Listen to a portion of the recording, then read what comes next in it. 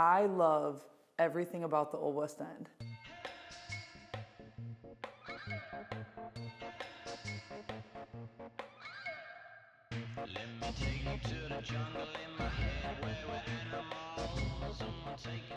It's one of the nation's largest collection of Victorian and Edwardian preserved architecture.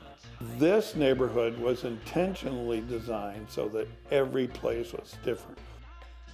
I would describe the Old West End community as a beautiful island of misfit toys.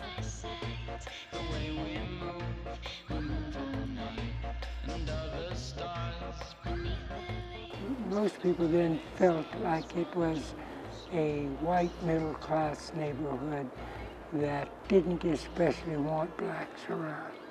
Redlining is discrimination. It almost destroyed this neighborhood. Race-wise, a great time to be alive in terms of uh, seeking to make progress. In the 70s and 80s, people were afraid to come out.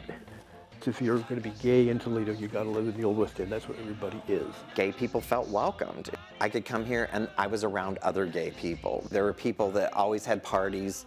Boy, did we have some good parties.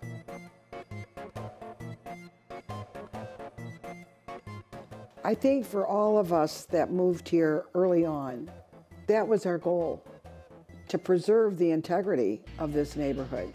Living in these houses, we are like the curators. We're saving them for the next generation. So if we don't protect them, who will?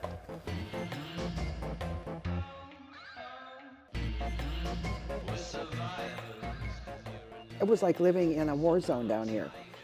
Then I would send them personally a t-shirt with a beautiful house on the front and it said, crime doesn't pay in the old West End, mother pass it on. That's how we cleaned up the neighborhood.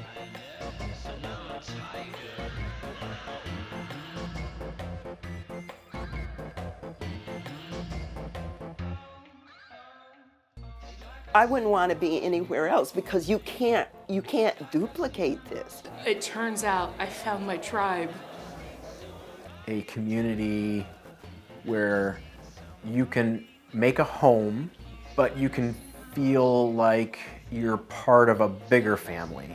So that's one of the uniqueness things about the Old West End. We have some weird characters in the Old West End. A lot of people ride their bikes around here too.